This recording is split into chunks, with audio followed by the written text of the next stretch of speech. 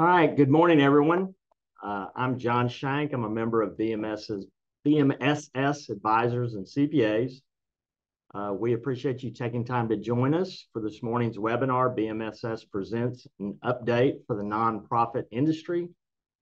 BMSS was established in 1991 and has grown to become one of the top 100 accounting and advisory firms in the U.S. with the recent addition of our team members in Ridgeland, Mississippi.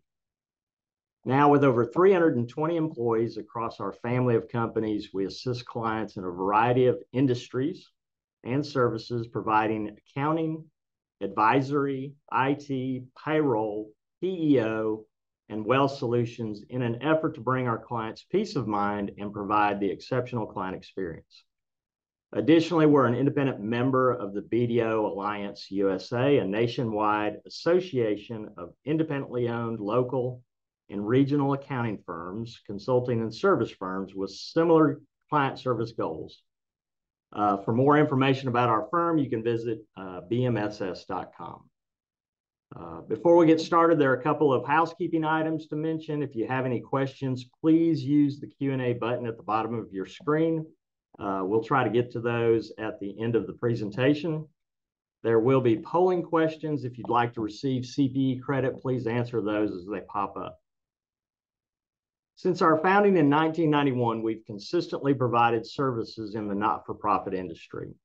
Uh, if you're on this webinar today, you probably work in or provide services uh, to nonprofits, and you understand how it's an ever-changing, always fluid environment. Our goal this morning is to give you a few updates that we think pertinent, and if you have an issue that we don't cover, uh, please feel free to reach out to us after the webinar. Today, we're very fortunate to have Whitney Roberson, uh, Rebecca Tipton, and Jonathan Pers with us uh, to provide those updates on what is happening in the nonprofit industry. Let me provide a little background on our panelists. Uh, first up, we'll have Whitney Roberson. Uh, she joined BMSS in 2019 and is the manager in our Huntsville office. Her primary focus is the nonprofit industry, and she serves those clients in assurance, tax, and consulting. Whitney is a certified nonprofit accounting professional and is on the BDO Alliance's nonprofit niche leaders collaborative roundtable. After Whitney, we'll have Rebecca Tipton, who joined BMSS in 2022 and currently serves as a manager of BMSS's outsourced human resource services. With prior experience as a human resource manager and as a human resource consultant, uh, Rebecca specializes in HR advisory, where she assists in both compliance and people strategy across many industries. Known for her accuracy and desire to learn, Rebecca is a pro at providing consultation and support on all stages of the employee life. And after Rebecca, we'll hear from Jonathan Pers, who's a senior security analyst for Abacus Technologies. In, in, this role, he oversees the security team, engineers security solutions for clients, analyzes and remediates security threats, and also spearheads security product development and implementation. With a master's degree in cybersecurity from the University of Alabama at Birmingham and as a successful small business owner, he now uses those skills and experience to help develop and enhance Abacus Technologies' rapidly growing security practice. And with that, welcome everyone, and I'll now turn it over to Whit. Thank you, John, for the introduction. Um, good morning, everyone. Today, I'll be covering nonprofit updates from a tax perspective, which I understand is a super thrilling topic. Um, there aren't many uh, major changes to the Form 990 or 990PF, so I'll be covering a few acts currently in the pipeline and then tax credits that may be available for your organization, as well as a few other relevant topics. Uh, next slide, please. So we're going to start with the Streamlining Federal Grants Act. The Streamlining Federal Grants Act was introduced in July 2023 and is a bipartisan legislation designed to improve the effectiveness and performance of federal grants and cooperative agreements. simplify the application and reporting requirements, and facilitate greater coordination among agencies responsible for delivering services to the public. It also seeks to improve the services delivered to communities and organizations that historically have not received federal grants or cooperative agreements. The act would also establish a grants council, which would be composed of all grant-making federal agencies. Next slide, please. The legislation would create a reform process through which longstanding challenges and red tape can be addressed and overcome. It also expressly mandates that federal agencies consult with non-federal entities. So this would be your states, local governments, territories, tribes, higher education, and you guessed it, nonprofits, during the development and implementation of their agency plans. Federal agencies would be required to pay particular attention to potential entities that have not historically received grants or cooperative agreements, which will promote dialogue early in the process so new ideas and approaches can be welcomed from the beginning rather than as a comment on the back end. The legislation expressly requires that agencies must improve user experience by mandating summaries of notices of funding opportunities to be short, so 500 words or less, in plain language and accessible. Nonprofits and others would no longer have to sift through hundreds of pages to determine whether they're eligible to apply. The act would also require agencies to include in their agency plans the steps necessary to ensure potential applicants have opportunities to receive training and assistance from the agency. The legislation also requests a report that identifies why charitable nonprofits and other non-federal entities choose not to participate in federal grant making. The report must include the experiences of faith-based and community-based organizations, rural communities, and small communities. Next slide, please. Next, I'd like to talk to you about the Charitable Act. The Charitable Act was introduced in February 2023 to extend the deduction for charitable contributions for individuals not itemizing deductions, which is about 88% of taxpayers. In 2017, federal tax law temporarily increased the standard deduction for individuals through 2025. A 2022 American Enterprise Institute analysis found that the law change did not result in upper income taxpayers donating, donating more to the work of charitable organizations, which is what it intended. In fact, charitable giving went down after its enactment, as did the number of filers claiming the itemized charitable deduction. Data has shown that the universal charitable deduction put in place by Congress temporarily during the pandemic worked. Taxpayers who took the standard deduction on their 2021 tax returns were able to claim an additional $18 billion in donations thanks to the universal charitable deduction, according to data released by the IRS. More than 47 million households utilize the tax incentive, enabling individuals to claim $300 in charitable deductions and couples to claim up to $600 in deductions while also taking the standard deduction. 21% of those donations came from taxpayers with adjusted gross income of less than $30,000. The universal charitable deduction expired after 2021. In 2022, total charitable giving from individuals, foundations, businesses, and bequests dropped by 3.4% in current dollars and 10.5% relative to inflation. Donations from in individuals fell by 6.4%, which was a decline of 13.4% when adjusted for inflation, and total giving fell to just under $500 billion. This is the only time only the fourth time in 40 years that donations did not increase year over year. The Charitable Giving Coalition, which is made up of more than 60 nonprofit and charitable organizations, sent a letter to the House and Senate on Giving Tuesday in support of charitable in support of passing the Charitable Act. Next slide, please. So next I want to talk about clean energy credits, which nonprofit organizations are not used to being eligible for um, tax credits. So tax exempt and governmental entities, including those that were generally unable to use tax credits previously can now benefit from clean energy tax credits using new options enabled by the Infl Inflation Reduction Act of 2022. Elective pay makes certain clean energy tax credits effectively refundable. With elective pay for tax years beginning after December 31, 2022, an applicable entity that qualifies for an applicable clean energy tax credit can choose to make an elective payment election, which will treat certain credits as a payment against their federal income tax liabilities rather than as a non-refundable credit. This payment would first offset any tax liability of the entity and any excess would be refundable.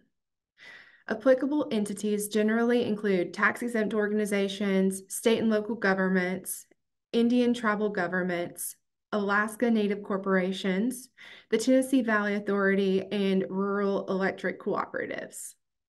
Next slide, please. A pre-filing registration process must be completed and a registration number received prior to making an elective payment election on your annual tax return. To complete pre-filing registration, you must provide certain information about yourself, the credits you intend to earn, each eligible project or property that will contribute to the credit, and certain additional information. The IRS will receive, review the information provided and will issue a separate registration number for each applicable credit property for which the entity or electing taxpayer provided sufficient verifiable information. Uh, just note your registration is not complete until you have received the registration number. Next slide, please. So over the next few slides, I've listed out the clean energy credits that are available for this. Um, if you believe your organization is eligible for any of the credits shown on the screen and would like additional information, please contact your BMSS tax professional. Um, a few on this slide, you've got your production tax credit for electricity from renewables, clean energy production tax credit, investment tax credit for energy property. Um, you can kind of see it's all clean energy. Um, next slide. Um, there are also some specific to manufacturing, vehicles, and fuels, um, such as the Advanced Energy Project Credit, uh, credit for qualified commercial clean vehicles, um, clean hydrogen production tax credits. So um, like I said, if you have any questions about these or want to know if your organization is eligible for them, please reach out to your tax professional. Um, it's a kind of complex process, so we would want to go through your specific project and plans for it before giving any recommendations. Next slide, please. Um, I'm sure all of you are used to hearing about the Employee Retention Credit. Um, so the Employee Retention Credit, which is more commonly known as ERC, was implemented during the pandemic to encourage employers to keep employees on their payroll. Earlier this fall, the IRS issued a moratorium on the processing of any new employee retention credit claims through at least the end of the year, citing concerns that a growing number of new claims are potentially ineligible and stem from organizations being pressured by aggressive promoters and marketing. I know from personal experience that some of my uh, clients were contacted by some of these companies trying to get them to file um, ERC claims. Uh, next slide, please. In an effort to protect targeted businesses and potentially reduce the processing time for legitimate claims, the IRS announced a new program last month that allows companies to withdraw any current ERC claim if they are concerned about its accuracy without being charged penalties or interest. So for those wishing to withdraw an ERC claim, the following must apply. And this is all outlined on the IRS website as well. Uh, but the claim would have had to been made on an adjusted employment return. It was filed only to claim the ERC and there were no other adjustments.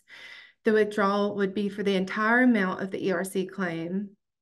The IRS had not paid the claim or the IRS had paid the claim, but the refund check has not been cashed or deposited. Um, and then those that are not eligible to withdraw their claim based on these requirements can reduce or eliminate their ERC claim by filing amended tax return. I would recommend reaching out to your uh, tax professional for additional information. Next slide, please. All right, next I'm going to cover um, Form 8822B, change of address or responsible party. So IRS regulations require any entity with an EIN to update responsible party information within 60 days of any change with this form, Form 8822B. You can also use this form to notify the IRS if you changed your business mailing address or business location. While organizations are not subject to penalties for failure to file this form, um, it is mandatory for changes to responsible party information. Organizations which fail to file this may not receive a notice of deficiency or a notice of demand for tax, and failure to receive these notices does not prevent the accrual of penalties and interest on any tax deficiencies. So the IRS defines a tax exempt organization, which is what we're here for today, um, their responsible party as the definition of a principal officer according to the Form 990. So um, this is an officer of the organization who, regardless of title, so they don't have to be president or treasurer, it's up up for debate there, um, has ultimate responsibility for implementing the decisions of the organization's governing body or for supervising the management, administration, or operation of the organization. This is also the officer listed in the heading of Form 990, page 1. So while completion of the form is required for more than just tax exempt organizations, nonprofit organizations tend to have more frequent turnover in their responsible party. So if your organization has had a change in principal officer, please be sure to timely file Form 8822B. And if you have any questions or require any assistance, please reach out to your tax professional.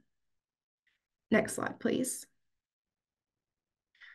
All right, so Form 8300, reporting of large cash transactions. Um, this is this is something new that's coming out. Um, federal law requires persons to report cash transactions of more than $10,000 by filing Form 8300, report of cash payments over 10,000 uh, received in trade or business. So tax exempt organizations are also considered persons and they may need to report certain transactions. A tax exempt organization doesn't have to report a charitable cash contribution, but it may need to report other cash payments. So if an exempt organization receives more than $10,000 in cash to rent out a part of its building, you may um, you must have you must report that transaction. Um, so this is effective January 1st, 2024. Um, organizations must e-file Form 8300, um, and this is based on the number of 1099s and W-2s um, that you file in a given calendar year. Um, it's if you're required to file at least 10 information returns. Um, the number of Forms 8300 filed does not affect the information return threshold requirement. So um, also important to note, a tax exempt organization must keep a copy of every Form 8300 it files, along with any of the supporting documentation in the required um, statement it sends to customers for five years from the date filed. And you should keep in mind that filing electronically will provide a confirmation email that the form was filed, but e-file confirmation emails don't meet the record keeping requirement. So in e-filing, you should save or print a copy of the form prior to finalizing it and associate the confirmation number with the saved copy. Saved copy. Next slide, please. So as I close out my section of today's presentation, I wanted to make you aware of the Certified Nonprofit Accounting Professional Certification. I personally went through this um, certificate program in person, but there are also online options. Um, this is a really great choice for those who are new to nonprofit accounting or anyone who has experience who would like a better understanding of nonprofit accounting, budgeting, and compliance. we are actually able to offer a discount to our clients using the code Alliance Client CNAP. Um, please reach out to your BMSS professional if you would like additional information, or reach out to me if I'm not your professional. I'd love to talk to you about it. Um, this wraps up my portion of the presentation. I would like to now turn it over to Rebecca Tipton for our HR update. Thank you so much, Whitney, and hi, everyone. I have to say that nonprofit organizations have been some of my favorite clients to support, so I'm just really excited to be here. Unfortunately, 20 minutes can be a little short for a time when talking about HR topics. So I really want to try to focus today on an issue that I've seen a lot of, which, if you want to progress to the next slide, I, that's going to be how the labor shortage is affecting nonprofits. So today I'll be going over staffing shortages, where we'll just look at some survey results and some solutions that can be put into place. And we'll look at retention strategies. Honestly, some of the solutions we'll talk about are going to be part of retention strategies as well, but we're just going to take a deeper dive into some of the key drivers so that you can really take more of a holistic approach to your retention strategy. So, to get started, let's talk about staffing shortages, which I am sure is not a foreign concept for you guys, as most industries have been experiencing them to some extent. And as you guys may already be aware, the National Council of Nonprofits recently published the 2023 Nonprofit Workforce Survey, which had a lot of eye opening statistics. For example, 74.6% of survey respondents reported having job vacancies, and 51.7% reported that they have more vacancies following the pandemic. Of those vacancies being reported, 74% are in the program and service delivery areas. 41.1% are in the entry level positions. 31.7% are in administration and HR. 25.2% were in development and fundraising. 12.5% were in senior management. And 11.1% were in communications. And all of these are really important positions for operating as a nonprofit. Next slide, please. So, of course, staffing shortages don't just occur without some form of underlying cause. From the same survey, we see that 72.2% of respondents reported that their staffing shortages were chiefly due to not being able to compete with salary offers elsewhere in the job market this really isn't a big surprise. Many industries have been suffering from staffing shortages. And unfortunately, the for profit sector usually has a bit more wiggle room to entice candidates with better pay. Of course, 66.3% reporting the cause was due to budget factors and lack of funding are basically saying the exact same thing. They just don't have the funds to compete with the other guys. 50.2% of respondents reported that the issue was due to stress or burnout, which is also not surprising. Working in a nonprofit is hard, especially when you're working shorthanded and you're needing to pick up the extra slack. We can also connect this back to the last slide that told us 74% of respondents were feeling those staffing shortages in their service delivery areas these guys are right up front with the issue their nonprofit is trying to support. And in a lot of nonprofits, many of these positions carry an extra psychological burden of seeing so much suffering on a daily basis. 20.6% reported their issues were caused by complications in government grants and contracts, which we can honestly link back to the funding issue and salary competition, as it does end up costing more to administer complicated grant funds, which can eat into your budget. And finally, 14.6% reported the availability or affordability of childcare was an underlying cause to their staffing shortages. As if your employees need someone to watch their children and they're unable to find that care affordable or possibly interacts with the schedule, you're going to have issues keeping your positions filled. Of course, another issue surprisingly not mentioned in the survey is that a decent portion of the baby boomer generation is retiring and they're leaving the workforce. And unfortunately, the younger generations coming into the workforce are just not quite balancing out to the same number leaving the workforce. Next slide, please.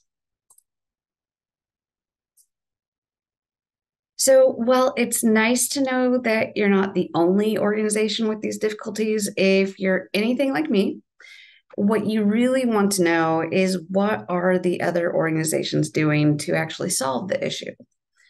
So we'll start by looking at the survey results again, as they did capture this question. And we see that 57.7% implemented a remote work policy. This can be very helpful as it opens up your talent pool to people who might not have been interested otherwise due to the length of the commute to your work site or not having reliable transportation or even having a disability where working on site is just too problematic due to access issues or health reasons, or honestly, there's a, many other reasons that could apply here. And 39.2% implemented diversity and inclusion trainings and strategies. This can be really helpful as it indicates an inclusive and welcoming environment for people from different backgrounds that may have otherwise felt that they would be unwelcome. 40.9% increased the current benefit offerings. You could add additional options such as medical or dependent care FSAs to help with the affordability issue. You could add additional holidays or leave options, or even increased employer contributions on your existing offerings. If you're not sure whether your offerings are below or above average, you can a benefit market analysis to show what the averages are being offered for your industry. However, I would warn you to survey your employees before actually adding any new benefits, just to better understand what additional benefits would actually motivate them before wasting your money on an offering that doesn't even appeal to your particular workforce. The survey additionally reported that the following were used promoting career advancement opportunities, which we'll get to in a second, expanding mental benefits and wellness programs, particularly as certain positions can be prone to burnout or high levels of stress, as we talked about, and notifying employees about eligibility for the Public Service Loan Forgiveness Program, the PSLF, if it happens to be applicable to your service, of course. Next slide, please. Of course, there are additional options as well. You can also introduce flexible work arrangements. I know we already talked about remote work, but you can also open up your talent pool by being more accessible to people with various challenges to a normal schedule by allowing for non standard work hours, which can be great for people with childcare responsibilities or maybe who are going to school at the same time. You can even open up a standard full time position for job sharing, which, in other words, is simply splitting the job into two different openings, making it available to people who could only work part time schedules or possibly retirees who still want to stay active, but they just don't want to commit to a full eight or nine hour day anymore. You can also implement a formal career path for employee development and growth. I love reading different surveys about employee motivation. And one tidbit that has been consistently popping up is the fact that employees want to know that there is an opportunity for growth and they want their employer to help facilitate it with developmental opportunities. So, having a clear path of progression that employees can follow and offering different training and development opportunities really does help and you can get creative in your development opportunities. It doesn't have to just be paying for different classes or tuition. If you want to provide leadership development, then you can introduce a short term task force for solving different challenges in your organization, and then take turns assigning the leader to help them or assigning the leadership role to different employees to help them really grow by doing and of course, make sure that you're providing mentorship along the way. You could also create targeted recruitment programs. While you should not stop your other recruiting processes, you can build upon them by targeting similar programs to your industry. For example, if you work with children, you may want to target early childhood or teaching programs at your local colleges or trade schools, both for graduates and those still in school, as your entry level positions give them good experience for their resumes. And you're obviously in a field that interests them, or they wouldn't have committed so many years to learning the craft. Other examples include social work programs for nonprofits that work with poverty or similar situations, or veterinarian programs for animal rescues. Even if your organization is fairly well known in the community, do remember that college graduates are not as experienced in the community yet, and they may not have considered employment or internship with your organization go ahead and promote those opportunities through career fairs, the Career Center, on campus recruiting, or even developing a connection with the school's career services team and leaving them with brochures and marketing materials. And you should also make sure to spread the word of any vacancies to your volunteer groups. Even if the volunteers themselves are not looking for employment, chances are that they have friends who share their interests who might be open to new employment. And you can also create and implement a marketing campaign. After you finish implementing your strategies to boost recruitment, adopt a marketing mindset to promote exactly why people should want to work for your organization. Highlight the different benefits of your work environment and culture, the impact of the work that you do, and the employee benefits provided. You could also consider adding a brief video with snippets from actual employees about why they enjoy working there. And if you've identified targeted recruitment programs, you can also tailor these videos and messages to your target group, such as highlighting career development opportunities to university students and recent grads for your entry level positions. Then ensure that you have reach by posting on external job boards, university career services pages, and other relevant locations beyond just your own career site. If you're currently in a staffing shortage, you may want to make sure that promotions for your open positions are getting as much exposure as your other outreach efforts are. And you should use outsourced services or staffing services. Having worked in a nonprofit before, I can definitely attest to how very common it is to already be stretched thin, just trying to cover the day to day activities to the point where there really just isn't room for strategic special projects such as those we're describing just remember there are outsourced services who can help with projects such as these or even support your regular processes. And finally, you can increase your focus on retention. The logic behind this is simple. If you retain more employees, then you will have less vacancies to worry about. Of course, we're about to go into this in a little more detail. If you'll change the slide for me, please.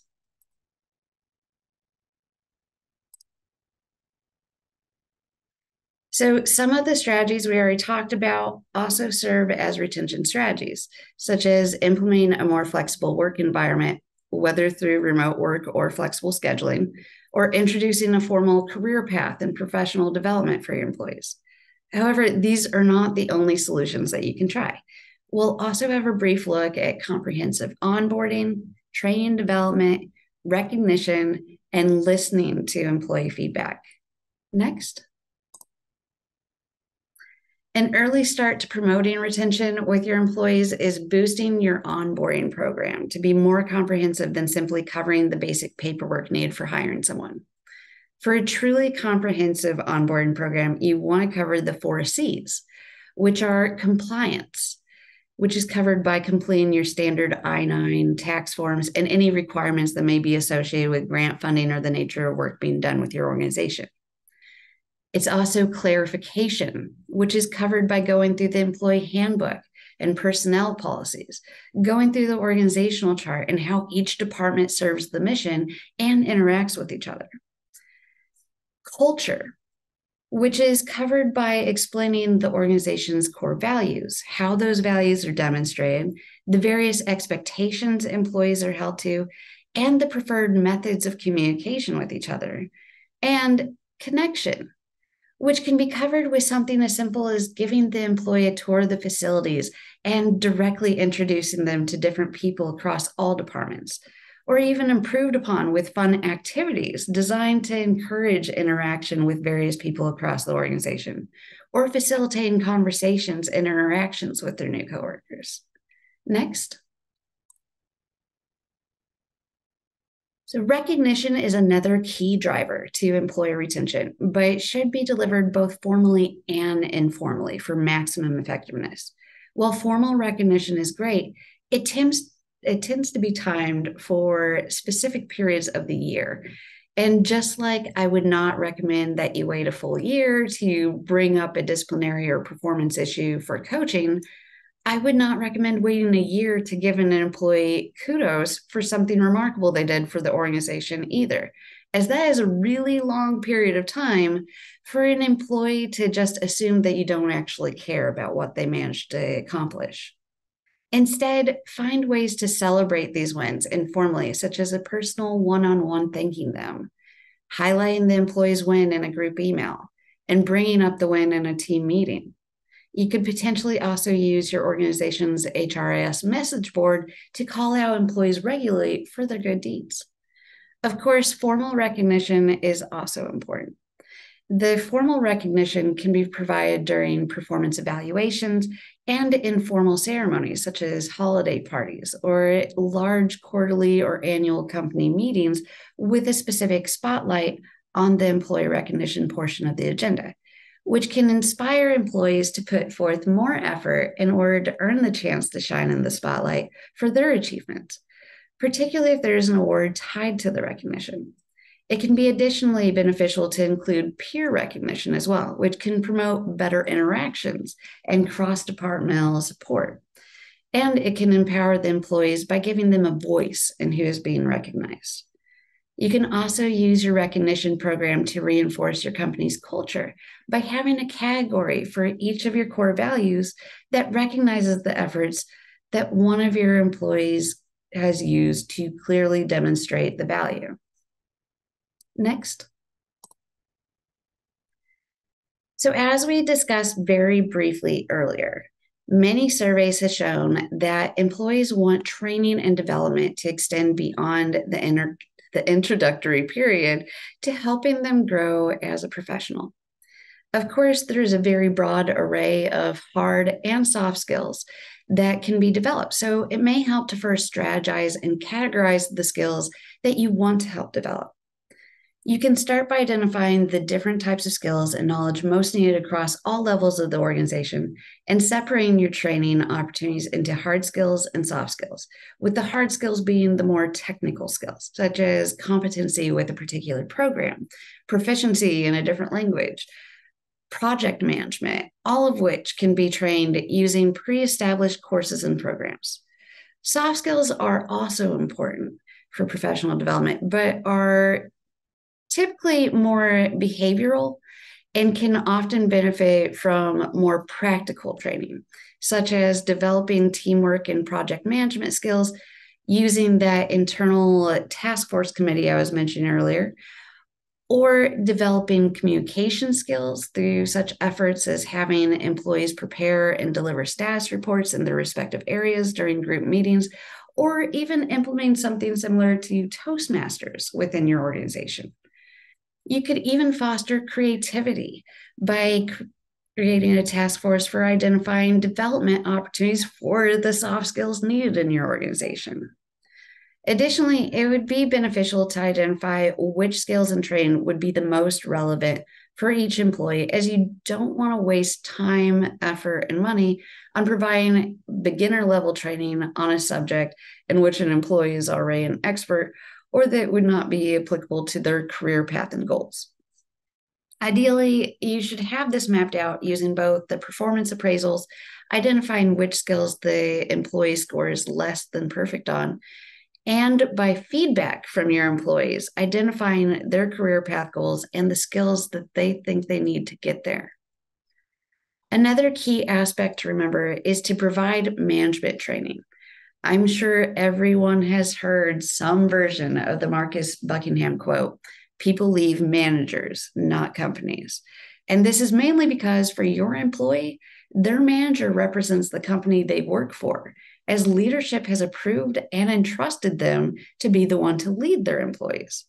However, managers can make mistakes too, and it's important to provide them with just as many resources to be successful in their position as you would provide anyone else. At minimum, the manager should be provided with guidance on how to address employee relations issues, employee conflict, and performance management in a manner that is consistent with your organization's culture.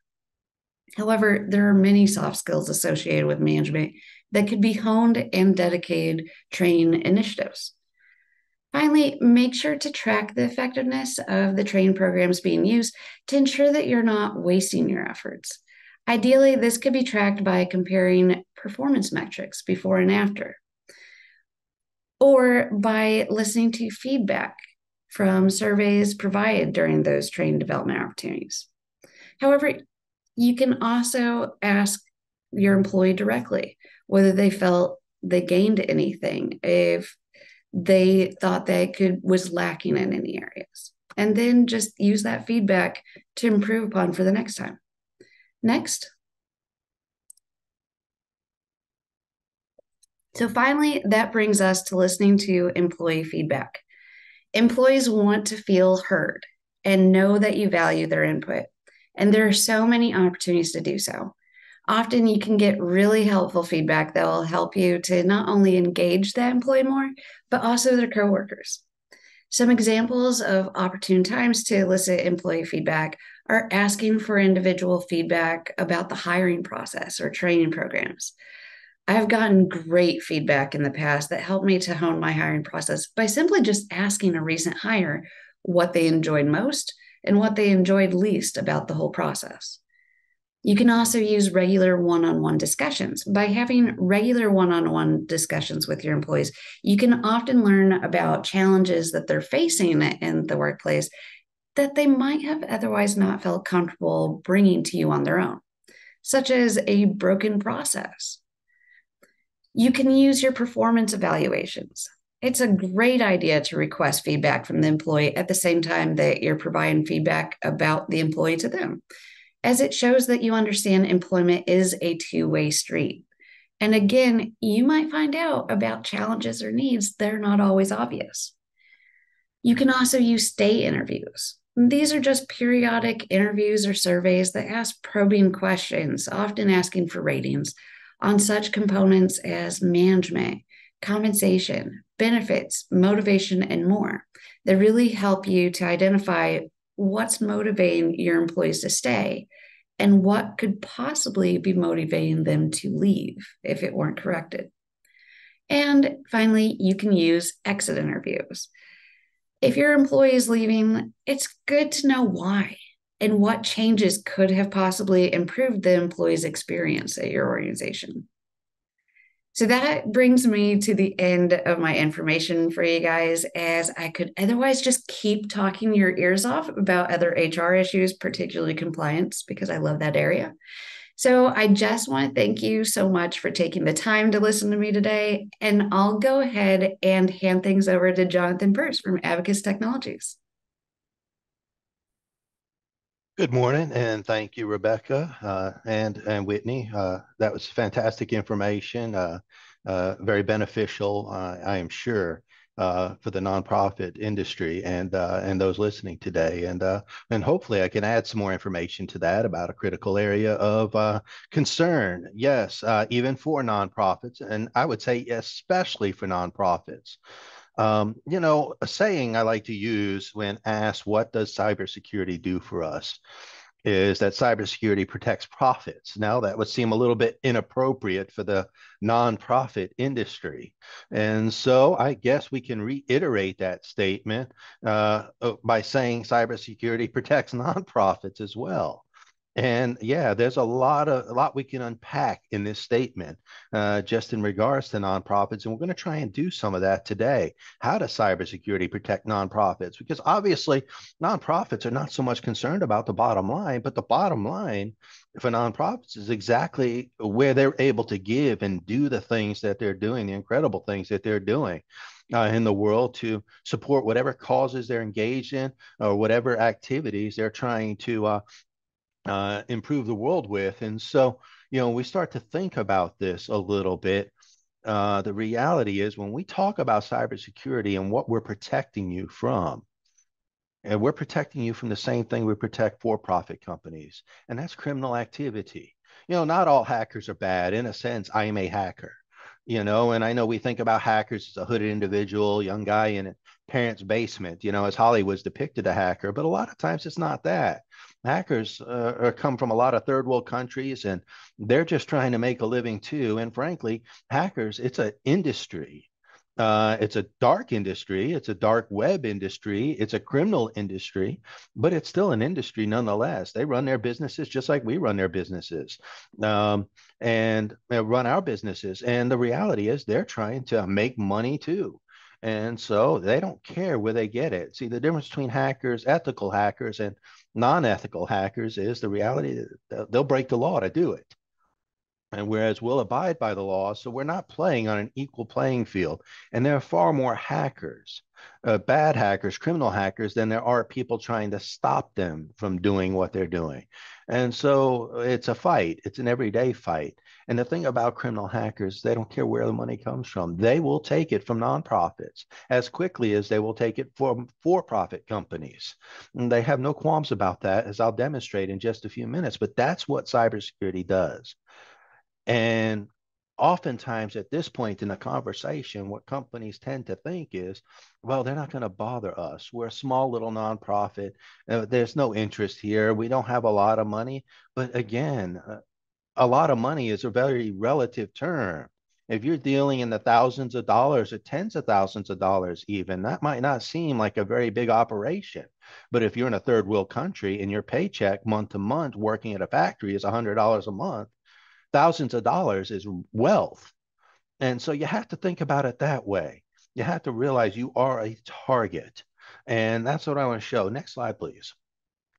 You know, we think about nonprofits. Here's just the reality one in four nonprofits face cyber attacks in 2023. One in four. That's over 25%. That's a staggering number. And it, it actually surprised me when I did some research for this presentation that that many nonprofits are facing cyber attacks. You know, companies like to tell me how, oh, we're not being attacked, but you know, my response to that is often show me your email for a second and I'll show you where you've been attacked. Well, nobody's attacked my email. If you've got a phishing email in your inbox right now, you've been attacked. A phishing email is an attack, but a lot of people today confuse spam for phishing email. Spam is harmless. Spam's a nuisance, but it's harmless. It's not going to cause you any damage. It's going to waste your time. Whereas a malicious email, a phishing email in your inbox, if clicked on an attachment or clicked on the wrong link, could lead to ransomware, which is going to cost you money, reputation, which is probably the most valuable thing. And then, yes, time. And so the reality is, uh, uh, thinking about one in four nonprofits facing cyber attacks, that's just the reported attacks. You know, if we start to break down the non-reported attacks, the ones that happened that nobody knew about, even the smaller scale ones, by comparison, it gets the number gets pretty staggering. But if money is in play, so are most hackers because that's their ambition. Now, hackers can also have other reasons to attack nonprofits. They might be going after the cause. They might disagree with the cause. They might be in competition for the same resources as the cause. You know, hackers can be hired. They are for hire. And so there's all kinds of reasons that ha- uh, that nonprofits need to pay attention to the reality that you are a target and what we do in cybersecurity is simple, and it's not easy to do, but it's simple in terms of understanding. Our goal is to reduce the risk of a successful attack. We want to keep the funds, for example, for nonprofits that you work hard raising. Uh, getting grants is not easy work, raising money is not easy work. It takes a lot of energy and effort to get there. Well, we want to keep those funds as much as possible toward the causes those nonprofits represent. And in order to do that, yes, you might have to spend a little money by comparison. You know, uh, we like to think, you know, one in three, and this is probably a modest estimate for every dollar spent in prevention, it's worth three dollars a cure when it comes to uh, a cyber attack. Well, and and I, well, that's probably a modest number, but the reality is you know, we want to keep as much of that money working for your cause. We want to keep you focused on what you're able to do. That's what technology should do. It shouldn't become a hindrance and stop you altogether from doing what you do, which is what a successful attack can lead to. So these three realities play a big role. Let's move to the next slide, please. And what we're going to talk about next is the threat against nonprofits real? I think you can see already that it's real, but I want to stack this up a little bit. And yes, I hate to do it, but I'm going to scare you a little bit. I have to scare you a little bit. We have to wake up to this reality because it's out there. I find a lot of what I do is education, just opening the eyes of what's going on about there. Many people have heard of the dark web and it sounds like an ominous place. It is a real place, it exists. And it's out there on the internet, and it's a place where bad things happen and bad things are conspire to happen where bad where people who are doing bad things share their capabilities to do bad things. And so, is the threat against nonprofits real? Yes. And we we need to look at some numbers that support that a little bit. So let's take a look at a couple things. We're going to look at some recent attacks, and then we're going to look at some some statistics as to why these attacks are successful. In 2020, and this is just some recent attacks that I and this didn't take me but just a couple minutes to glean this off the internet. But in 2020, Philabundance, a hunger relief organization, Hunger Relief Organization was scammed out of nearly $1 million via a fake invoice due to an email compromise. They took $1 million from an organization trying to relieve hunger. There's no holds bar here. But this is an example of the same kind of attack a for profit industry would face. Business email compromises are huge.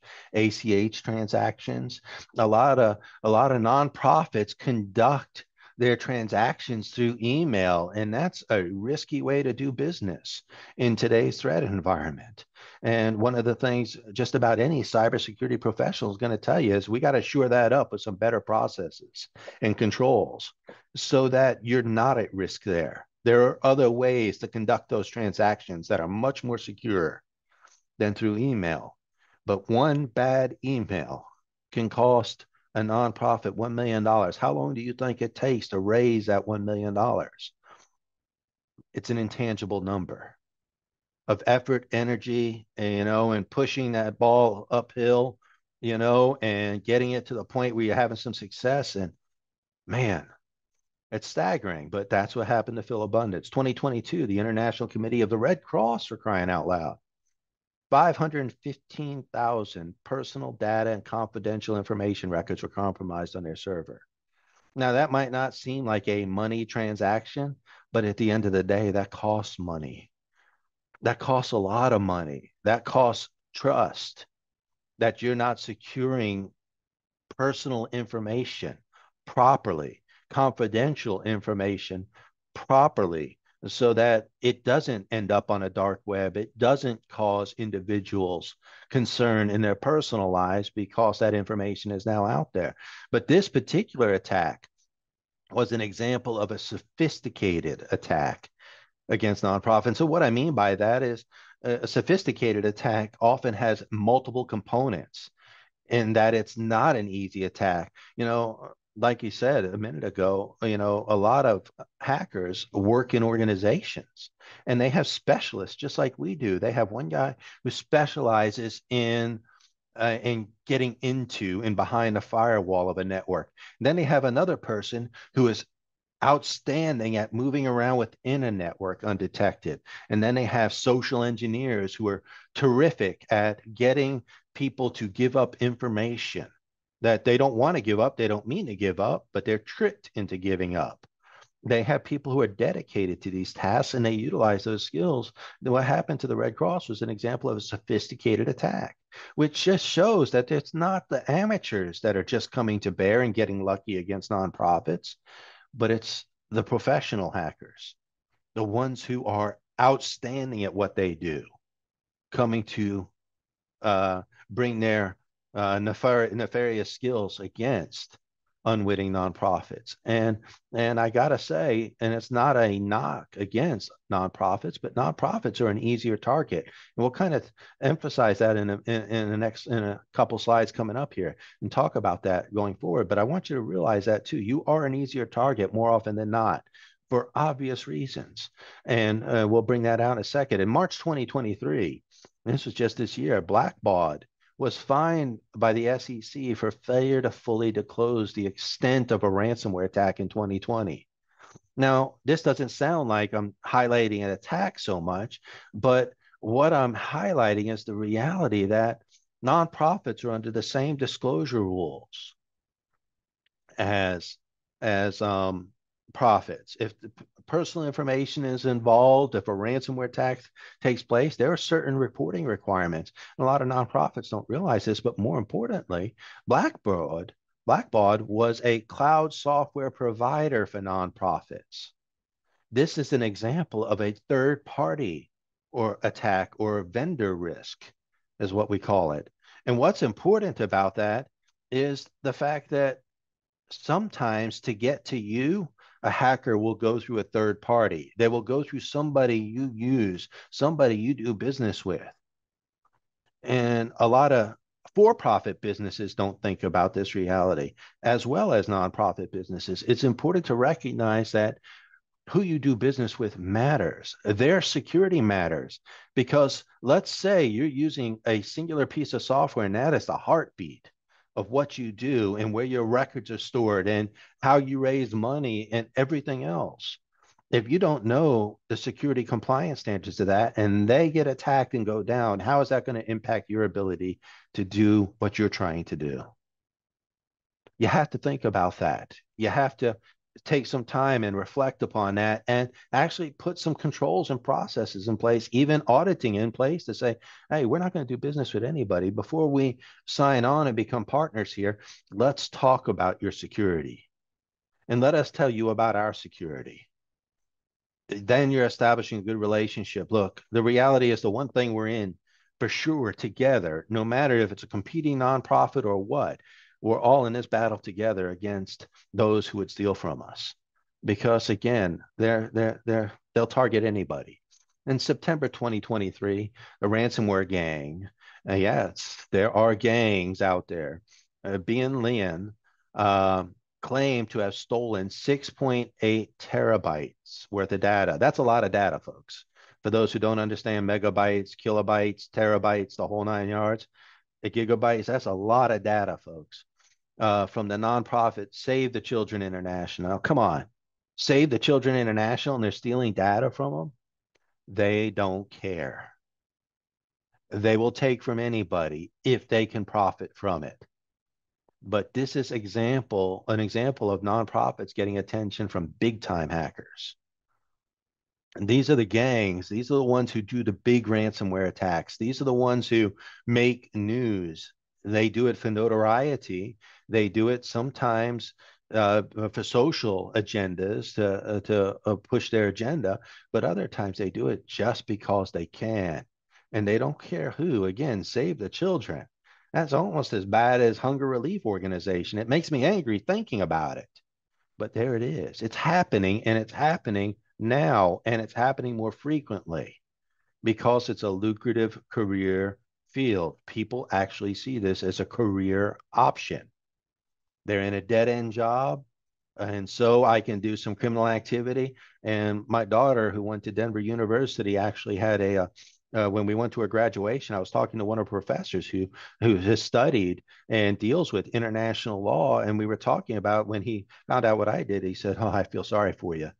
And he says, "Why is that?" He said, "Because there is no international law for cybersecurity," and it's so true. They don't have to worry about criminal pers- prosecution for doing this, which makes it even more tempting to go down this road and steal. And they know we have insurance and they think we have bottomless wells. And by comparison, perhaps we do, but still, it just sweetens the deal for them. And so we want to talk about this now. Let's just think about a couple statistics here, real quick. Uh, I could take all day on that, but 27% of nonprofits worldwide have fallen victim to cyber attacks. That's over one in four, folks. 68% of nonprofits do not have documented policies and procedures in place should a cyber attack occur. This matters. You know, a lot of for profit companies struggle in this area too. But it's even more important for nonprofits, I think, because their workforce a lot of times is volunteer it's got to you got to have documented policies in place and not only that those policies are only as good as they're enforced as good as they're audited as good as they're carried out and made to be they're, they're put there to secure. And so it's real important that your teams are educated in these policies and procedures and these policies and procedures are well thought out and make sense but it's critical but and that's a lot of times where the things begin to break down on the cybersecurity front for nonprofits. But 71% of nonprofits allow staff members to use unsecured personal devices to access organization emails and business files. This is a growing area. We work in a remote workforce. People use their phones. These mobile phones now are personal computers. That's not a phone you're carrying in your pocket. It's a it's a powerful computer. And we need to realize that that that information, perhaps personal information, perhaps sensitive information, is being stored on unsecured devices. That's a big risk. And then less than 50% of nonprofit organizations have internal procedures or policies in place to manage how data is shared with external agencies. You know, the one thing that connects us all is email, and email is the biggest risk factor for cybersecurity most attacks start with a single email. One mouse click, one choice, one mouse click, and voila, an attack has taken place and was successful. Next slide, please. And so, are you at risk? Is your nonprofit at risk? You know, if we were doing this interactively, I'd ask for a show of hands. You know, but the reality is, do you conduct e commerce on your website?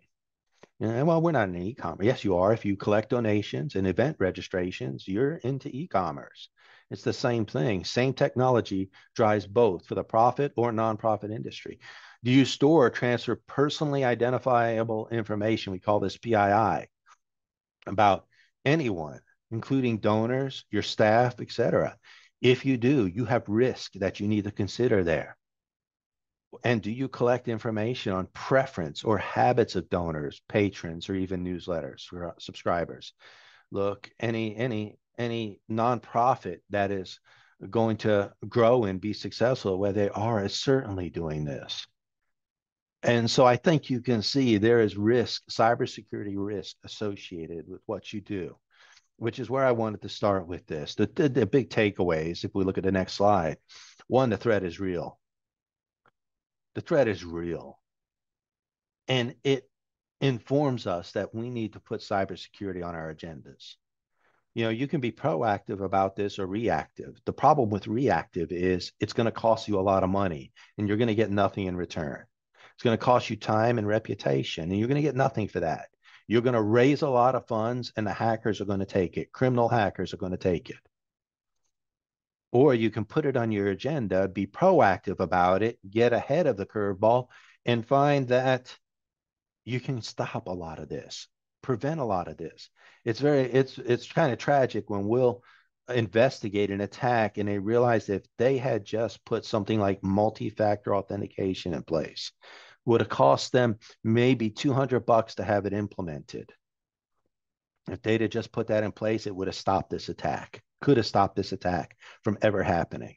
Something as simple as that and so you want to put it on your agenda. You want to do it on purpose. You want to do it in, in a measured and reasonable way. You want to do it in a risk centric way that takes a look at your biggest risks where you can you can utilize your funds in the best way possible and then attack the cybersecurity problem head on. You know, I often get the question, why don't we take the attack to hackers? You know, why don't we start attacking them back? Well, I'm going to tell you why. One, they're better at it than we are. And two, they don't play by the rules. They don't have rules. Whereas we have to play by the rules or we go to jail. And so we have to recognize that you, the only way to take the attack is to put, just make it hard for them to do what they do. Don't make it easy is probably a better way to put that for them to do what they do. And then we're going to start to win that battle. Let's look at the next slide real quick. I want to talk about just briefly as we close this out what can a nonprofit do to protect itself? First thing I'm going to say is prioritize security initiatives for a limited budget. Look, prioritize.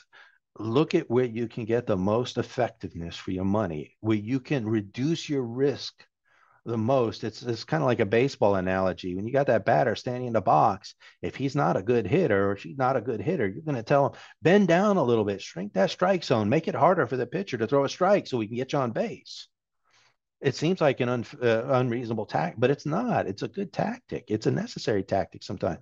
We need to strengthen our strike zones, the ways hackers can attack us. And you and nonprofits want to do it on a limited budget because they want to keep those funds in play for their causes, for what they're what they're working for. And so it's important that you prioritize those security initiatives. Get it on your agenda, prioritize them, have a plan Talk to a cybersecurity professional who is risk based, who can help you manage those and give you a good insight as to, well, yeah, you can buy this big program that's going to do this, this, this, and that, or you can just simply turn on this setting in Microsoft 365 and you're going to get actually more protection by that than you would buying this big software suite.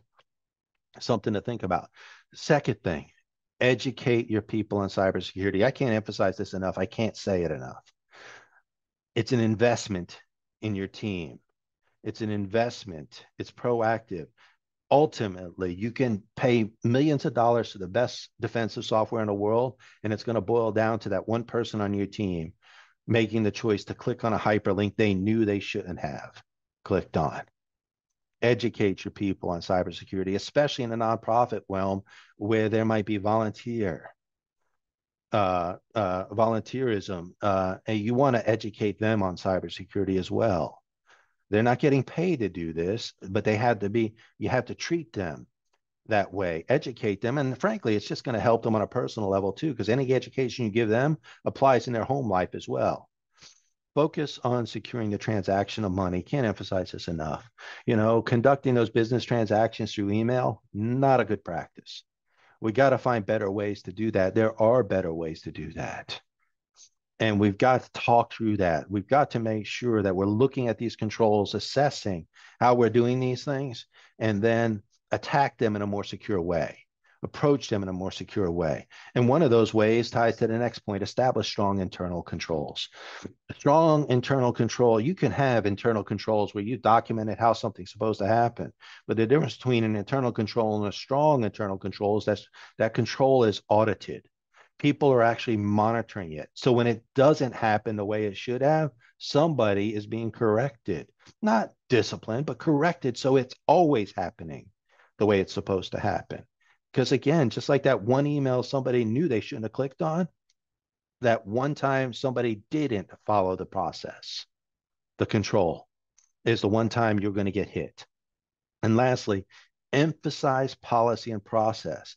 Don't assume, document and enforce it. Don't just come up with a list of policies and processes that nobody looks at, nobody even knows where they're at, and nobody is following don't assume they're being followed either, because chances are they're not. Document it, enforce it, follow up on those. Make sure those policies are well thought out. Eliminate needless policy because that's not that just generates the need to avoid those things. Next slide, please. You know, I want to close this out with this simple thing. Take advantage of the cybersecurity controls already available to you.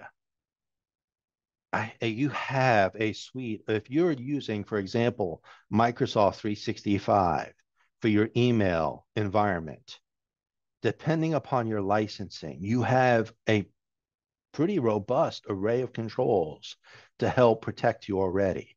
No, they're not the best in the market, but they are better than nothing. And you can simply, if you know where to find those or have somebody who can help you find those, we have to do this all the time in, at Abacus. We, uh, uh, we go in and we assess those controls and see what controls are turned on and what are not. It's and sometimes it's not easy. Microsoft didn't put these right up front. Some of them are buried pretty deep, but these powerful controls can change the game. For example, simply turning on if you're not a worldwide industry a worldwide nonprofit and you're just dealing in america or the southeast here we can actually turn on a control in microsoft that will prevent email anybody from foreign countries from logging in to your email servers. That's a huge protection right there. MFA, multi-factor authentication, that is an 85% risk reduction because it stops, it's not a silver bullet. It's not going to stop every attack. There are workarounds to get around MFA, but those are for highly skilled hackers. Your average hacker, MFA is going to be stop them in their tracks. They're not going to go any further. And it's also going to alert you that you are being attacked. And so again, take advantage of the cybersecurity controls already available to you. You don't have to spend a whole lot more money. Just use what you got. And if you don't know how to use, that's get somebody who can help you. Bring in a professional. Don't ask for an IT guy to do your cybersecurity. IT guys are great at keeping everything running, but sometimes they're they don't. They, that's not their function.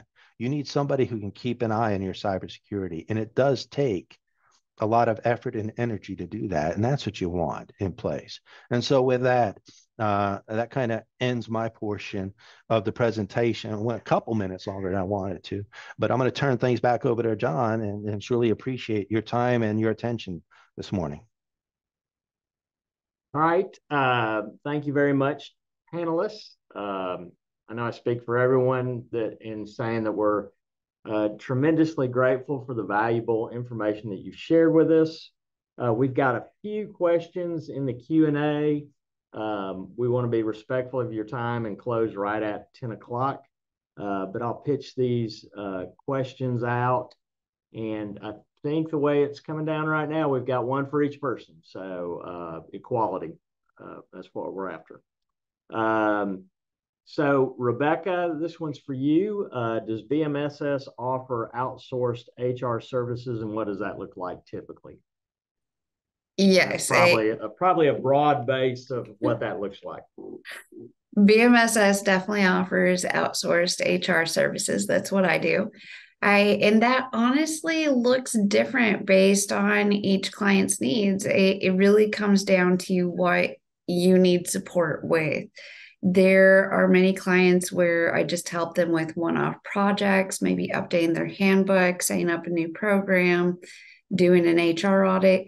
Or there's several clients that I work with on a more ongoing basis, kind of either providing regular consultation as the client needs it, or even acting as a bit of a part time HR manager. So if you have a need, feel free to reach out. I'm happy to talk with you about it, see if it's a good solution for you right? And uh, you can go to our website, bmss.com, and find Rebecca on there and get her contact information. All right, Whitney, I believe this next one will be for you. Uh, for the $10,000 cash reporting requirements, what constitutes related transactions? Uh, for the rent example, if you received a thousand cash monthly for rent of a facility, does that get aggregated for the reporting requirement? And if so, when are you required to make the report? After month 10, when you actually have received the aggregate 10K? Hey, this is a great question. Um, so typically related transactions are considered um, ones made within 24 hours, but in this case with the rent, um, this would be a multiple payment scenario. So um, if the first payment's more than $10,000, which in this case it's not, then you would immediately report. But if it was the $1,000 monthly over 10 months, then yes, at the end of the 10 month period, when it hits $10,000, then you would have 15 days to file the um, Form 8300, and then you would start a new period for the reporting. So you would start back over at zero. And that is available as well on the IRS website under multiple payments. Great. Thank you, Whitney. Um, Jonathan, does Abacus do any kind of security analysis that can poke holes in our weak spots? Love the question. Thank you for it. Uh, I feel like it's a Pepsi Cola pitch because now I get to talk a little bit about Abacus. And, you know, truth be told, next semester I'm teaching a course at UAB on exactly this. I'd like to title it Poking Holes in Cyber and, and Defenses, but it's really called what we call it in the industry is penetration testing, is the big fancy word for it. And yes, we do. We do do penetration testing, but it's more important. Eh, it's yes, if you have anything facing the internet, you want to find out how a hacker can get in. And we do do that. And there's a variety of tests you do to see if there are vulnerabilities in your external defenses and if they can get behind your firewall to your actual you know to your actual uh, information and that's what you're trying to protect and at the same time it's important that you assess internally as well because what happens if they get behind your network? That's where the real danger is what they can do once they get in there.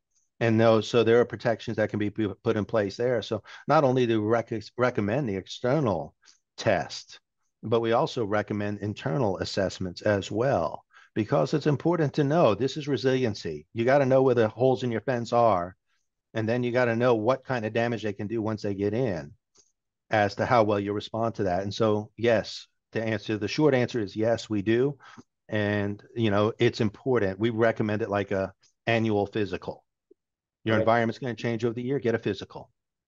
Thanks, Jonathan. Hey, Whitney, uh, I think sort of a, a follow up on that 10,000 reporting.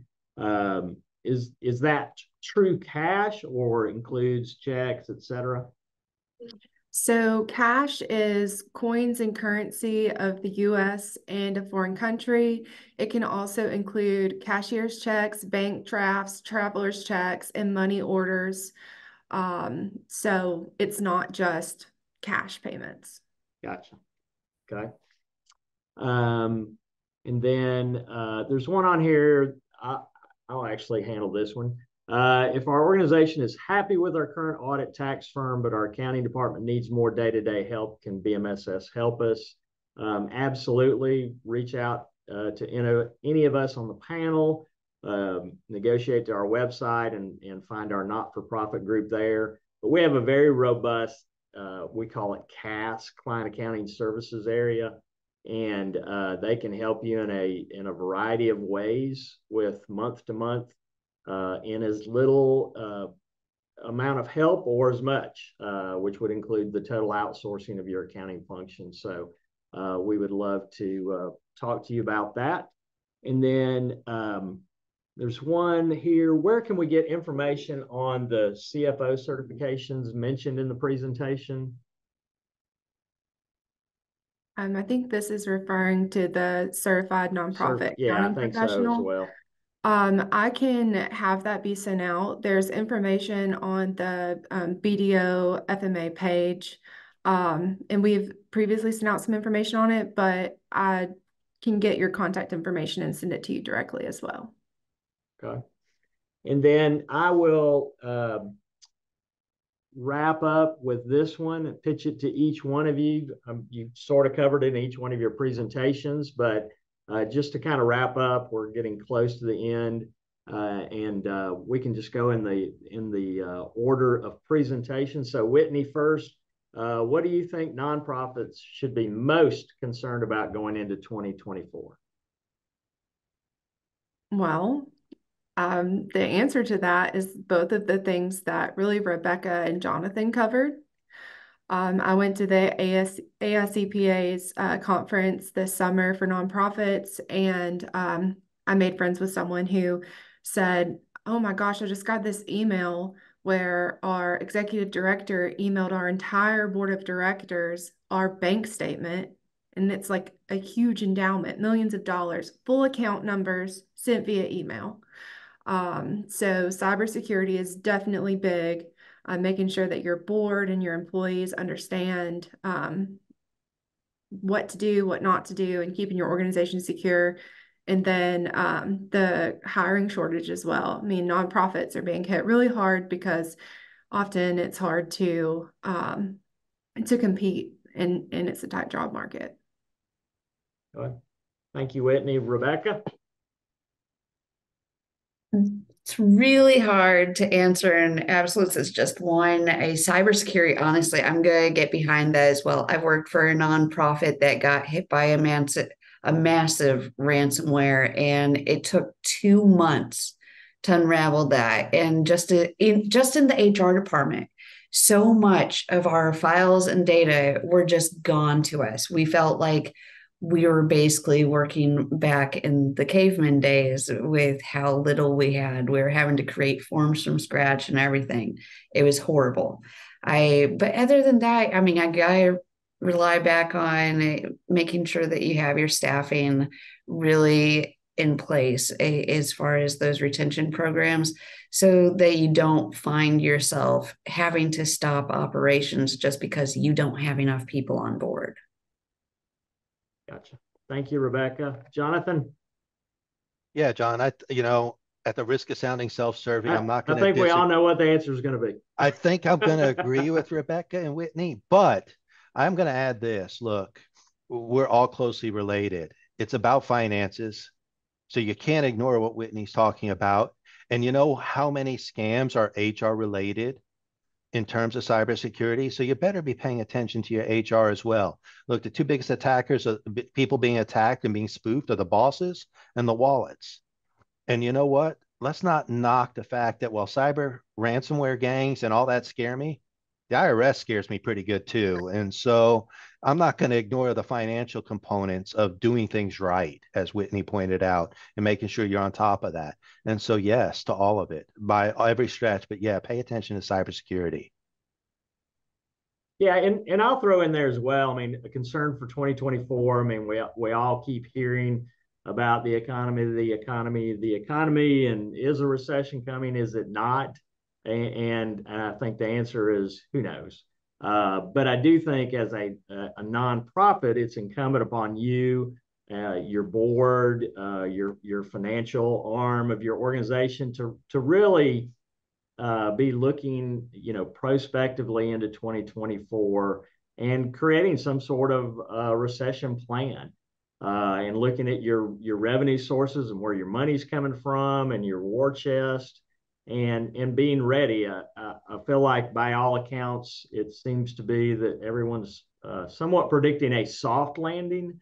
Um, but you know, it doesn't take much to turn a soft landing into a hard landing. So I would really uh, look at your budgets, look at uh, just take a hard look at all the areas of your organization and be ready if something changes in 2024.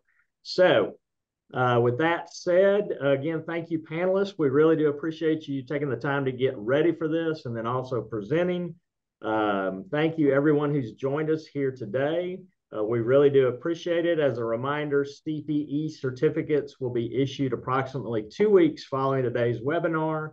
Uh, this webinar, I believe we've recorded it and it should be out on our website, hopefully by the end of the day today. And again, thank you very much for attending, and I hope you have a great holiday season.